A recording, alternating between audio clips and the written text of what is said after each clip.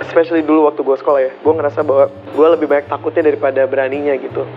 Jadi gue banyak banyak assuming sesuatu dalam diri gue ya gue udah menjudge diri gue untuk bahwa lu nggak bisa lu nggak bisa gitu. Dan itu hal yang holding me back gitu. Cocok banget, cocok banget kayak gini. Coba yang persis ya, pada dari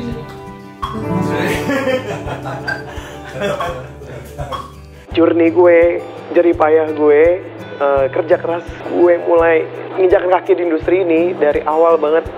Gue nyanyi gak ada yang nonton segala macam gue sama fans gue sekarang udah grew up bareng-bareng. Kita we've, we've been through a lot. Uh, it's a moment of celebration.